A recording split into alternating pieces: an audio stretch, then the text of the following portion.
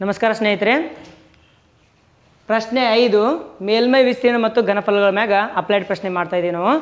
ಪ್ರಶ್ನೆ ನೋಡ್ರಿ, ಒಂದು ಘನದಲ್ಲಿ ಅರ್ಧಗೋಳದ ವೃತ್ತಾಕಾರದ ಪಾದದ ಮೇಲೆ ಪರಿಪೂರ್ಣವಾಗಿ ಆವರಿಸಿರುವಂತೆ ಶಂಕುವು ನಿಂತಿದೆ. ಅವುಗಳ ತ್ರಿಜ್ಯವು ಒಂದು ಸೆಂಟಿಮೀಟರ್. ಶಂಕುವಿನ ಎತ್ತರ ಅದರ ತ್ರಿಜ್ಯಕ್ಕೆ ಸಮನಾಗಿದೆ.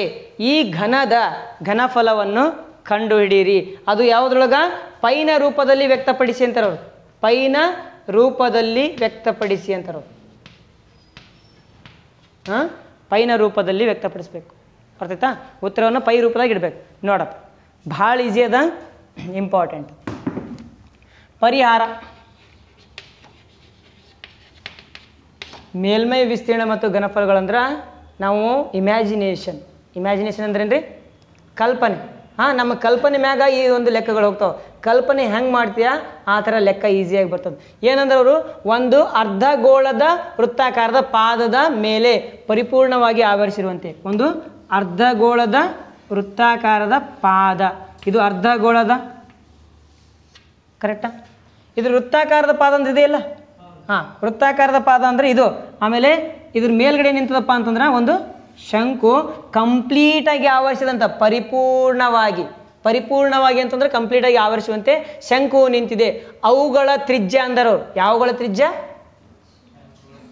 ಶಂಕು ಮತ್ತು ಹಾಂ, ಅರ್ಧಗೋಳದ ತ್ರಿಜ್ಯ. ಅವುಗಳಂದ್ರೆ ಎರಡರ ತ್ರಿಜ್ಯ. ಎರಡರ ತ್ರಿಜ್ಯ ಏನಂತಂದ್ರೆ ನಾವು? ಆರ್ ಇಸ್ ಈಕ್ವಲ್ ಟು ಒಂದು ಸೆಂಟಿಮೀಟರ್. ಕರೆಕ್ಟ ಆಮೇಲೆ ಏನಂತನ?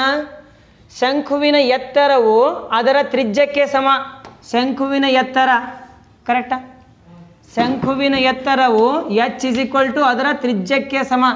ತ್ರಿಜ್ಯ ಅಂದ್ರೆ ಎಷ್ಟು ಕೊಟ್ಟರೆ ಆಲ್ರೆಡಿ ಒಂದು. ಆದ್ದರಿಂದ ಎಚ್ ಇಸ್ ಈಕ್ವಲ್ ಟು ಏನಾಗ್ತದ? ಒಂದು ಸೆಂಟಿಮೀಟರೇ ಆಯಿತು. ಕರೆಕ್ಟಾ? ಹಾಂ. ಎಷ್ಟು ನೀ ಬರೆದೆ ಅಂತಂದ್ರೆ ನಿನಗೆ ದತ್ತಕ್ಕೆ ಒಂದು ಅರ್ಧ ಮಾರ್ಕ್ಸ್ ಕೊಡ್ತಾರೆ. ಹ್ಞೂ ನೋಡು. ಮುಂದೆ ಏನಂತ ಹೇಳ್ತಾನೆ ಅವನು? ಶಂಕುವಿನ ಎತ್ತರವು ಅದರ ತ್ರಿಜ್ಯಕ್ಕೆ ಸಮನಾಗಿದೆ. ಈ ಘನದ ಘನಫಲವನ್ನು ಕಂಡುಹಿಡಿಯಿರಿ. ಅದನ್ನ ಪೈ ರೂಪದಾಗ ಬರಿಬೇಕು. ಅರ್ಥಾಯ್ತಾ ಯಾವ ರೂಪದಾಗ? ಪೈ ರೂಪದಾಗ, ಅಂದ್ರೆ ಇದರದ್ದು ಘನಫಲ ಕಂಡುಹಿಡಿಬೇಕಂದ್ರೆ ಏನಂತ ಬರಿತೀಯ ಹೇಳು ಫಸ್ಟಿಗೆ ಒಟ್ಟು ಆಕೃತಿಯ ಘನಫಲ ಇಸ್ ಈಕ್ವಲ್ ಟು ಶಂಕುವಿನ ಘನಫಲ ಪ್ಲಸ್ ಅರ್ಧಗೋಳದ ಘನಫಲ. ಅದನ್ನು ಬರೆಯೋಣ, ಈ ಸಾರಿ ಬರಿತೀನಿ ನೋಡಿ. ಒಟ್ಟು ಆಕೃತಿಯ ಆಕೃತಿಯ ಘನಫಲ ಇಸ್ ಈಕ್ವಲ್ ಟು ಶಂಕುವಿನ ಘನಫಲ ಪ್ಲಸ್ ಅರ್ಧಗೋಳದ ಘನಫಲ. ಅರ್ಧಗೋಳದ ಘನಫಲ. ಅರ್ಥ ಆಯ್ತಾ? ಇಸ್ ಈಕ್ವಲ್ ಟು ಶಂಕುವಿನ ಘನಫಲ ಸೂತ್ರ. ಓಕೆ ಪ್ಲಸ್ ಅರ್ಧಗೋಳದ ಘನಫಲ ಸೂತ್ರ. ಹಾಂ two divided by three pi r cube two by three pi r cube ಆಗ್ತದೆ. ಆಮೇಲೆ ನಿನಗೆ ಆರ್ ಅಂದ್ರೆ ಗೊತ್ತದ? ಎಚ್ ಅಂದ್ರೆ ಗೊತ್ತದ? One by three r square h ಅಂತ ಬರ್ತದೆ. ಹ್ಞೂ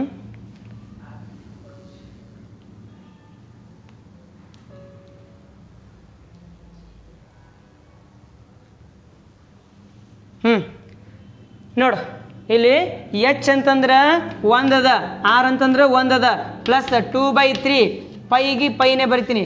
ಆರ್ ಕ್ಯೂಬ್ ಅಂದ್ರೆ ಒನ್ ಕ್ಯೂಬ್ ಅಂತ ಬರ್ಕೊಡ್ತೀನಿ. ಅರ್ಥ ಆಯ್ತಾ?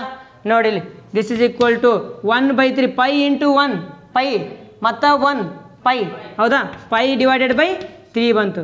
ಪ್ಲಸ್ ಇಲ್ಲಿ two pi divided by three ಕರೆಕ್ಟಾ pi by three plus two pi by three ಇದು ಸುತ್ತ ಇದು ಎಲ್ ಸಿ ಎಂ ಏನದ? ಎಲ್ ಸಿ ಎಂ ಮೂರೇ ಅದ? ಮ್ಯಾಗಿನ ಮ್ಯಾಗ ಹಂಗೆ ಹಂಗೆ ಹೆಂಗದಂಗೆ ಕೊಡ್ಸು.